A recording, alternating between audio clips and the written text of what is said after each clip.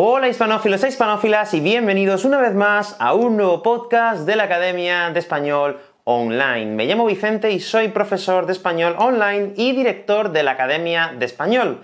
Y en el podcast de hoy vamos a hablar sobre cómo hacer planes, cómo hablar de los planes que vas a hacer o que harás. ¿Por qué? Pues porque ayer justo estuve hablando con, con uno de mis alumnos y su lengua materna es el inglés.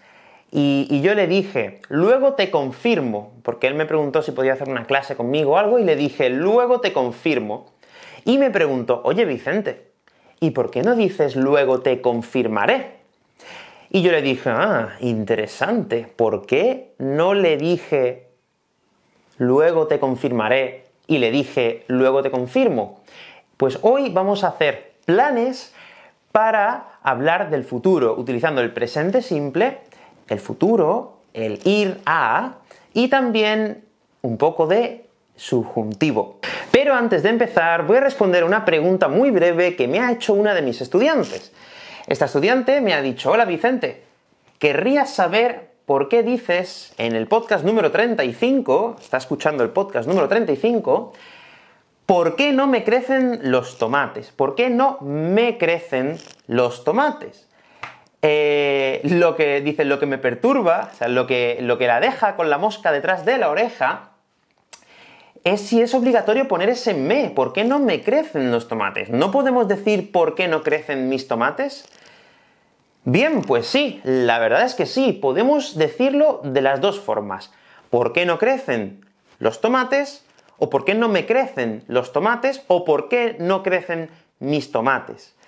Bien, en realidad, en realidad, em, mm, has acertado bastante diciendo por qué no crecen mis tomates.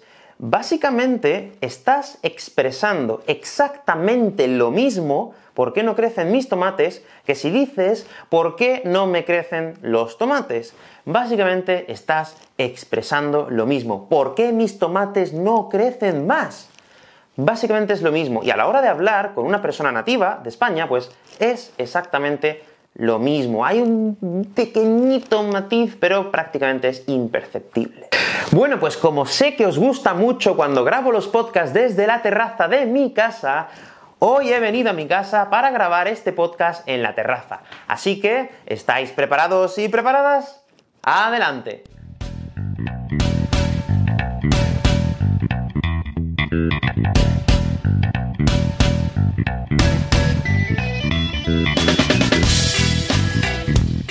Bien, bueno, pues aquí estoy en mi terraza una vez más y hoy os voy a contar qué es lo que voy a hacer la semana que viene. Quiero que estés muy atento o muy atenta a lo que digo exactamente. Quiero que prestes mucha atención a cuando utilizo el presente simple, el, subjuntivo o, por ejemplo, utilizo el, futuro, para que puedas entender un poco cómo hablar del futuro. Bien, pues la semana que viene he traído el móvil porque tengo aquí todas las cosas que, todos mis planes y todas mis tareas las tengo aquí apuntadas en el, apuntadas en el móvil. Y la semana que viene pues eh, tengo tres, eh, tengo, tengo a tres alumnos, tengo tres clases, tengo tres clases con tres alumnos. Eh, el lunes, el lunes he quedado, he quedado, el lunes he quedado con un amigo mío eh, el lunes, mañana, mañana he quedado con un amigo mío y, vamos a tomar algo. Vamos a tomar algo, sí. Creo que vamos a ir a, una cafetería que está por aquí cerca y vamos a tomar, vamos a tomar algo. Después, un poco más tarde, a las 7, tengo una clase. Tengo una clase y, y sí, seguramente termine muy tarde el lunes. El lunes eh, es muy probable que termine muy tarde. Sin embargo, el martes, el martes no hago nada. El martes no hago nada. Bueno, sí, el martes pues grabo el vídeo de YouTube y también grabo el podcast. Si, si sobra tiempo, si me sobra tiempo, eh, grabaré el podcast. Si me sobra tiempo, grabaré el podcast. Y eh, no lo sé, no lo sé al 100%, depende. Si me sobra tiempo, grabo el podcast. Si no, no. Eh, no sé si podré grabar el podcast, la verdad.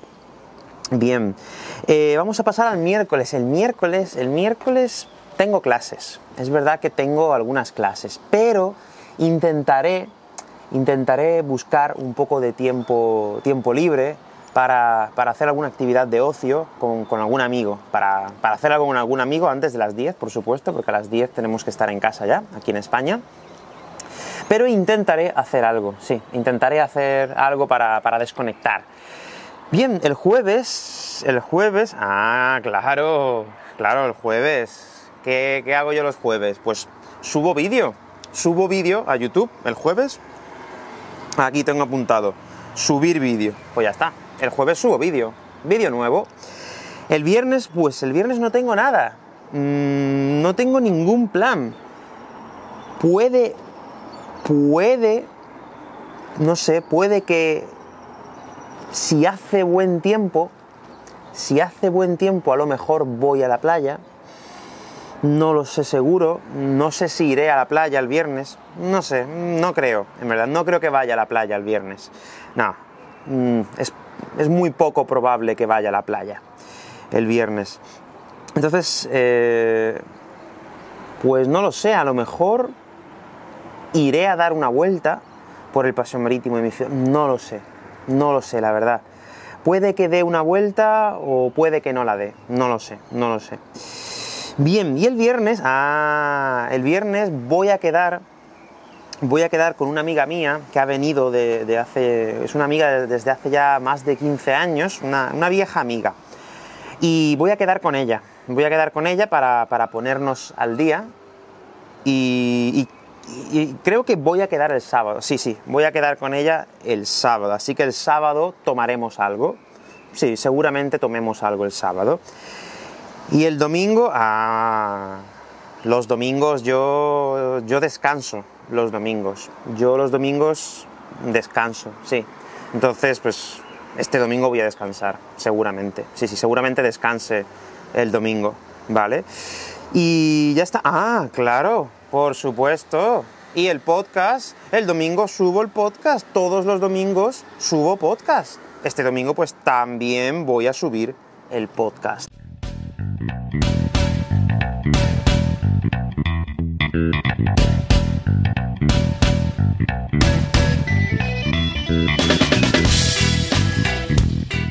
Bien, bueno, y hasta aquí el podcast de hoy. Te he contado cuáles, cuáles son o cuáles van a ser mis planes.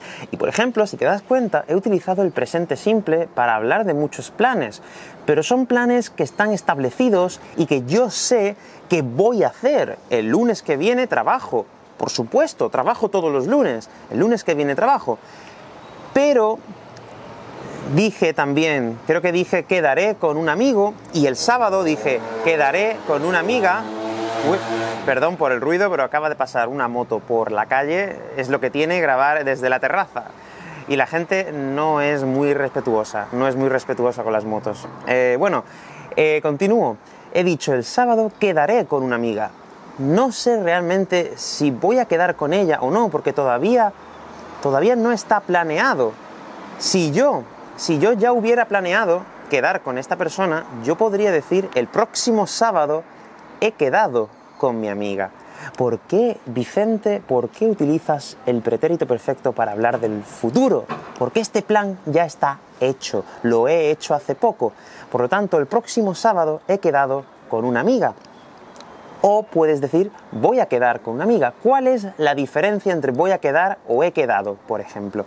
Que si dices voy a quedar, lo que estás haciendo es expresar intención. Estás expresando tu intención de hacer un plan. Yo voy a hacer esto, voy a hacer lo otro, voy a trabajar más, voy a estudiar. Son planes.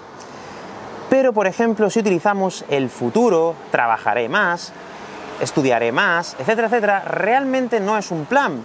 Es algo que tú piensas que puede pasar. Yo, pues, no sé, no sé si me casaré o no, no lo sé. No sé si me voy a casar o no. Es algo que, que no lo sé. Pero tengo un amigo que se casa el año que viene. Se casa el año que viene. ¿Y por qué no digo se casará el año que viene? ¿Por qué digo que mi amigo se casa el año que viene? Pues porque es un plan fijo, un plan pues que no va a cambiar. Bueno, esperemos que no cambie, esperemos que no cambie.